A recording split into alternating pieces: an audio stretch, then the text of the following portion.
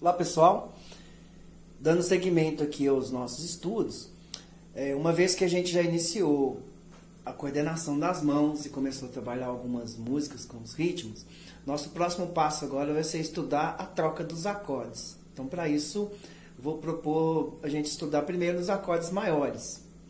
Então a gente sabe que nos acordes maiores, dois dedos possuem pestana, que é o Fá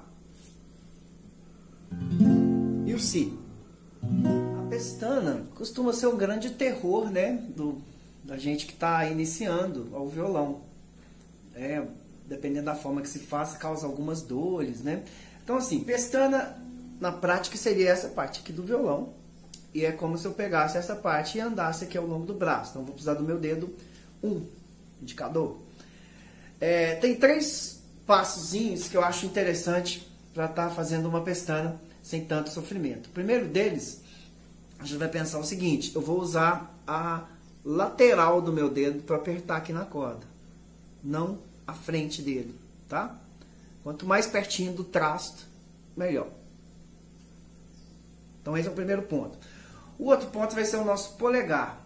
É, eu vou pensar no centro da minha mão como meu dedo médio, então tem dois dedos para cá, dois para cá. Meu polegar vai ficar geralmente no rumo desse dedo médio. Então quando eu ponho o meu dedo de lado ali, ó, a, o meu polegar vai estar, tá, vou fazer o acorde, não é? No rumo do meu dedo 2. Tá vendo? Então essa é a ideia desse polegar. Para cá, ele vai tirar um pouquinho da força desses dedos aqui apertando, né? Você vai perder um equilíbrio da mão. Então eu posiciono aqui no rumo do meu dedo 2, vou ter uma mão mais equilibrada.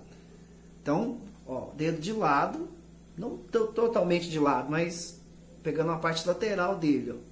Dedo de lado, polegar no rumo do dedo 2. Ok? Então esses dois pontos são importantes. E o terceiro ponto é a gente usar um pouco a, a gravidade. Pensar assim, em vez de eu fazer força esse dedo empurrando o violão para trás e esse aqui empurrando para frente, que vai gerar até um desgaste aqui na mão, vamos pensar se eu deixar o meu violão, a, a minha, o peso da minha mão aqui, ó, como se eu estivesse fazendo isso aqui com a corda, puxando para baixo, tá?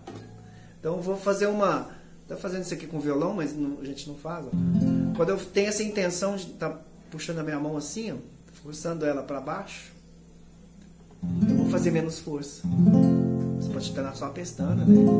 Então, ó, dedo de lado, polegar no rumo do dedo 2 e a gente fazer essa pressão para baixo, como se eu estivesse puxando a minha mão para fazer isso aqui. Então, esses são os toques da pestana. Como eu monto o Fá? Fá, então, esse dedo indicador em todas as cordas Vou pegar do, do, do alto para baixo. O dedo 3 vai estar tá na terceira casa da quinta corda. O dedo 4 na terceira casa da quarta corda. E o dedo 2 na segunda casa da terceira corda. Então esse aqui é o Fá maior.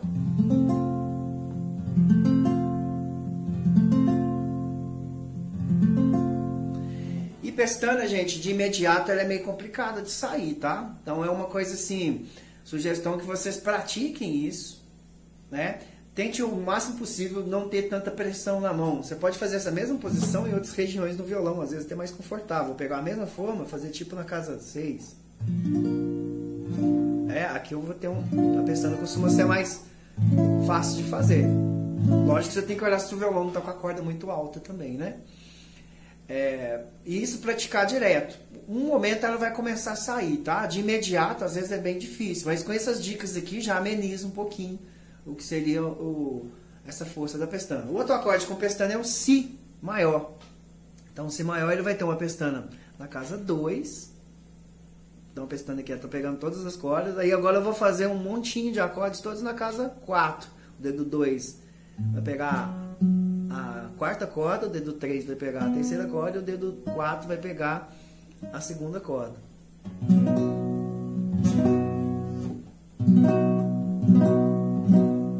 Então esse é o Si maior.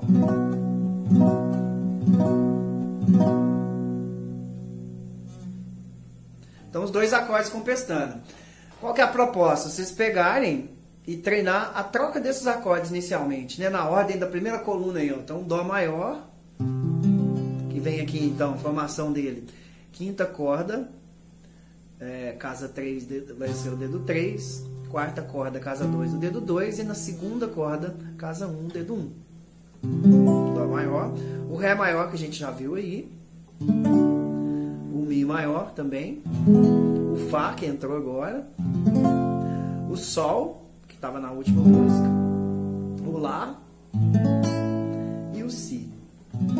Aqui tem um detalhe importante, olha, se eu manter essa mesma posição daqui, eu posso fazer o Lá com os outros dedo 2, dedo 3 e dedo 4, apertando o mesmo lugar que estaria 1, 2, 3, ó, e aproveito para fazer a troca si. É uma dica aí também. Então vocês vão treinar essa troca aqui primeiro, inicialmente.